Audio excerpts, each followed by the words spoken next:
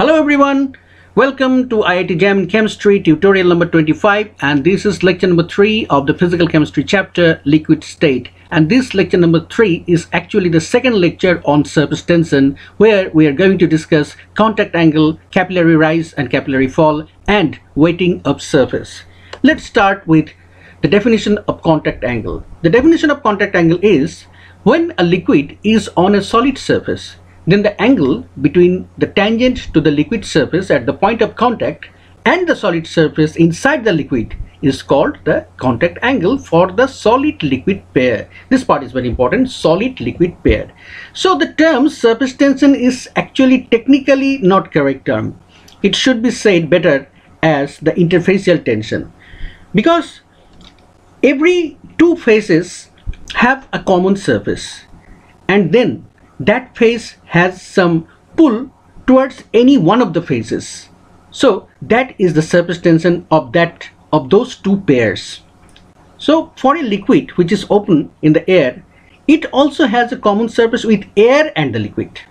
And that is actually the interfacial surface of water with respect to air if the liquid is water. So technically surface tension term is not correct. It should be better said as interfacial tension. Now let's have a look at the picture. Here, this is a liquid drop on some solid surface. Say it's water on glass surface. And this is another liquid drop on another solid surface. Say it is water on lotus leaf or mercury on glass surface. Now this point and this point are the points of contact where the liquid and solid are in contact with each other. So this point and particularly this point also. Now let's draw a tangent along the surface of the liquid. So this is the tangent here and this is the tangent here. Now through the liquid, through, through inside the surface of the liquid, inside the bulk of the liquid, this is this angle, this is the contact angle. This is the solid surface, then through the bulk of the liquid, up to the tangent this angle this is called the contact angle. Here also this is called the, called the contact angle. One thing you must mark here that this angle is an acute angle here and this angle is an obtuse angle here. Why? We shall discuss this later on. And this is denoted as theta so contact angle is denoted as this one theta. Okay. Now let's illustrate this. As i have said that the term the term surface tension is actually technically incorrect. We should better say this as interfacial tension. So between any two common, any two different phases, may it, it may be solid and liquid, it may be solid and gas, or it may be solid and uh, gas and liquid. So between these two different phases, the common part of the surface we have to take into consideration and along that common part of the surface, there must be some inward pull or force of attraction towards any one of the phase and that is called the interfacial tension. Now here at this point C, there are three force vectors due to surface tension. These three types of tensions are here along this uh, on this point of contact. This one, this is the tension due to solid gas interface. This is the solid this is gas. Okay. Along this line this is the tension due to solid liquid interface. This is the liquid part this is the solid part. And along this tangent this is the interfacial tension due to liquid gas interface. So this is the tension due to liquid gas interface. These three vectors have some resultant vector. So let's calculate what is the value at equilibrium you see at equilibrium this point will be stationary. So this the summation of these three points must be same. So we have to take the component of this vector only. Then add up with this one or this one. Okay? Then the summation should be equal to 0 at equilibrium. Because the liquid drop once when it is formed on a solid surface it, it, it is not further moving anymore. That means it is at equilibrium so the summation of these three vectors are 0. So we should be better write this as gamma solid gas minus gamma solid liquid minus gamma liquid gas cos theta. Because it's this component this component horizontal component must be this one into cos theta because the angle between these two lines are theta. Okay let's see how we do this. And here one we must say that uh, the solidification of a liquid on solidification of liquid suppose you have solidified a liquid suppose water has been converted into ice okay but it does not lose its surface tension. Ice also has a surface tension. That means here one question should have arisen that why should a solid have a surface tension the fact is that yes solid has a surface tension definitely. But its manifestation outward manifestation is not observed. Why it is not observed? Because of its rigidity. Okay. Here look at this picture. This is the liquid surface and above that liquid surface there are gases also. Now you can say that gases are not attracting the liquid molecules. The answer is yes. But since this attract force of attraction is very much feeble, that means very much weak, so we are not showing this and we are showing the inward pull towards the bulk direction. Okay, so between the liquid and the gas, okay, this is the interfacial tension between liquid gas, gamma Lg. Okay, between this point here, this interfacial tension between solid and liquid here some capillary rise type of rise would take place due to its adhesive force. So all these things we must uh, uh, we are we are going to discuss here. So solid gas sub interfacial tension between solid gas solid liquid liquid gas all are possible. Okay? So at the point of contact c there are three vectors arising out due to surface tension. These vectors are surface tension at solid gas interface gamma solid gas sg gamma solid liquid and gamma liquid gas. The resultant vector, what is the resultant vector? The gamma solid gas minus gamma solid liquid. That means this one minus this one minus the cos theta of this one. So gamma liquid gas cos theta. So these three when summed up at equilibrium this must be equal to 0. So we have equated this with 0 and the final result is cos theta equal to gamma solid gas minus gamma solid liquid. The whole term is divided by gamma liquid gas. Now let's analyze this equation. And this is equation number 4 as the part of continuation from the previous lectures. Look this is equation number 4 we have carried forward this to the next slide. Now case 1 this is case 1 here you can see that this part has gone little bit widespread. The squeezing tendency has been overpowered by the spreading tendency. So that means suppose you uh, you pour a drop of liquid uh, water on the floor or on some glass surface. So the water would wet this. This is actually wetting takes place. So here the adhesive force is greater than the cohesive force. So the squeezing tendency has been overpowered by the spreading tendency. Squeezing tendency arises out due to cohesive force and the spreading tendency arises out due to adhesive force. Okay, let's see how this is uh, this can be applied in this equation number 4. Here, here gamma solid gas is greater than gamma solid liquid. Okay, and that is why this one is greater than this one so cos theta is positive and cos theta positive means theta is less than 90 degree and less than 90 degree means it's an acute angle case 1 and what about case 2 uh, yes one one more thing the liquid wets the solid so that means wetting takes place here. And what is case 2 as I've said adhesion is greater than cohesion. And for water the contact angle is 18 degree at room temperature and one thing I must mention at 25 degree room temperature the surface tension of water is 72 dyne per centimeter in the CGS unit. And case 2 now case 2 here this angle is obtuse angle. So naturally here this one must be less than this one resulting in cos theta negative and theta greater than 90 degree isn't it?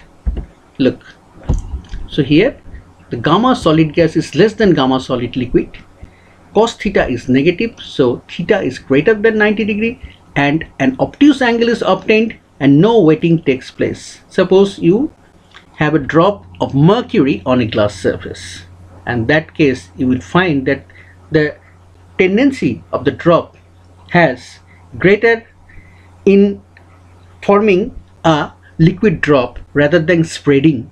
That means the squeezing tendency overpowers spreading tendency. That means here cohesive force is greater than adhesive force. That means cohesion is greater than adhesion.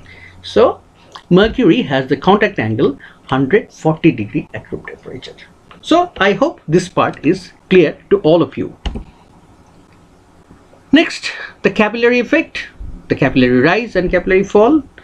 So when you take a very a tube of very small radius which are known as the capillaries. You know suppose the refill of your pen is it's empty refill of your pen. Just uh, just uh, immerse it in water okay? Or if you have mercury then immerse it in mercury. You will find either capillary rise or capillary fall. How do they look? They look like this. This is capillary rise and this is capillary fall where the contact angle is acute angle less than 90 degree that means adhesion is greater than cohesion. For example water on glass then capillary rise would take place and the meniscus this is known as the meniscus this would be concaved. On the other hand where wetting does not take place that means the contact angle is an obtuse angle that means greater than 90 degree that means the squeezing tendency is greater than the spreading tendency for example mercury on glass capillary then capillary fall would take place. Here the meniscus would look like a convex surface. Okay. You know this capillary action, how much powerful is that? The plants can take up water from the soil. You know which action is responsible for this? That is the capillary action. Through the root, the water goes into the top of the plant up to the leaf. So this is due to capillary effect. The xylem the xylem tissues of the root of the plant their capillary action capillary rise takes place. And due to that capillary rise water enters the roots of the plant and goes up to the leaf of the plant. Only through capillary rise effect. So this is very much naturally uh, very much powerful effect and this is very much effective useful also for our living. Now accurate treatment for capillary rise here is the bulk of the liquid where a capillary has been immersed. This is the point of contact. Here is this is the tangent. So this is the contact angle theta r is the radius of the capillary here gamma is the surface tension and it is working in this direction. It has two components. If this angle is theta then its opposite this angle is also theta. So this component is gamma cos theta and this component is gamma sine theta. Now this height is h. Rho is the density of the liquid and gamma is the surface tension now at equilibrium the excess pressure due to surface tension would be equal to the gravitational pull due to uh, this liquid column. So there are two vectors working. One is pull towards the upward direction due to surface tension, another pull towards the down, downward direction due to gravity. So upward pull due to surface tension. Let's calculate this. And this is at equilibrium equal to the downward pull due to weight of the liquid column. Let's calculate this. The upward pull due to surface tension must be equal to twice pi r gamma cos theta. Why twice pi r gamma cos theta? Look, this component towards the vertical direction is gamma cos theta. Now what is the circumference of the capillary where the liquid is in contact with the glass surface? The liquid is in contact with the glass surface has the circumference twice pi r if r is the radius of the capillary. So it is the length and this is surface tension. So when surface tension is multiplied by length then it becomes the dimension of force. So this is the force vector. So this is the upward pull due to surface tension. Now what about the downward pull? Here downward pull it is due to the weight of this liquid column. Now if the volume of this liquid column is pi r square h, then it is V rho g, isn't it? Now there are two volumes. One is due to the cylindrical part and another is due to the liquid within this meniscus, within this curvature. So let us assume that this volume within this curvature is V. So it is volume into rho g. So this is the downward pull so this is volume into rho g. What is the overall volume? Pi r squared h. This is the cylindrical part and this is the curvature part. So this volume plus this volume is the overall volume and v rho g is the downward pull due to gravity. These two at equilibrium are equal. Now let us calculate the volume of this curved meniscus V. Okay. So V is the volume of the liquid within the curved meniscus. So how we should calculate this. We have to take the volume of this small cylindrical part and deduct the volume of this hemisphere from this volume of the cylindrical part. Then this remaining volume would be the volume of the liquid within the concave meniscus. Okay? So this is the difference between the volume of the cylindrical capillary with height h uh, i'm sorry with height r minus volume of the hemisphere so what is the volume of the cylindrical capillary with height r? This is the height r. So this is the this is the assumption that the radius of curvature is equal to the radius of the capillary. We have to mention that. Okay. So this is now playing the role of height, this distance r, and the surface area is pi r squared. So r into pi r squared minus volume of hemisphere. So what is the volume of hemisphere? The volume of the volume of the whole sphere is 4 by 3 pi r cube. So half into 4 by 3 pi r cube is the volume of the hemisphere. So the difference between them is the volume of the liquid within the concave meniscus. So look, this is r is the height and pi r square is the surface area. And here 4 by 3 pi r cube is the volume of the hemisphere and its half volume, uh, volume of the sphere and its half volume is the volume of the hemisphere. So the difference between these two is the volume of the liquid within the curved meniscus and this is nothing but 1 by 3 pi r cube. Here we have to mention that the radius of curvature is equal to the radius of capillary. Now in this picture we know that twice pi r gamma cos theta equals to pi r square h plus v instead of v we have put here one third pi r cube into rho g. Now on mathematical procedure proper way we can proceed like this. Here gamma pi r is uh, taken separately. Here also pi r taken as common.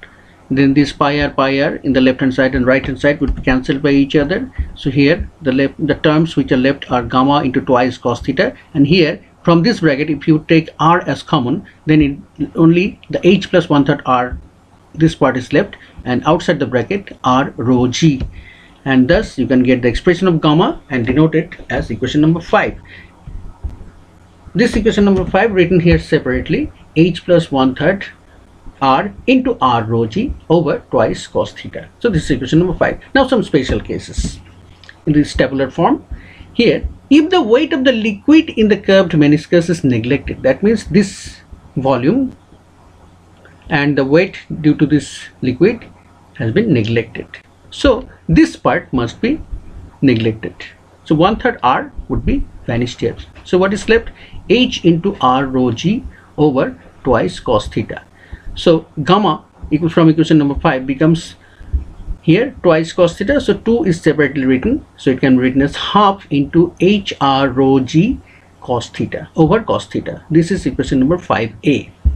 Now if theta tends to 0 that means if it is completely a hemisphere then definitely this contact angle must be 0 so if theta tends to 0 then cos theta tends to 1 and in that case this takes the form equation number 5b where cos theta is written as 1 so it is half into h plus 1 third r into r rho g. And finally both the above approximations together if you take them together that means neglecting the volume and theta tends to uh, 0 that means cos theta tends to 1 then it becomes gamma equals to half hr rho g. This is equation number 5c so that's all for this lecture number 2 of surface tension and have a nice day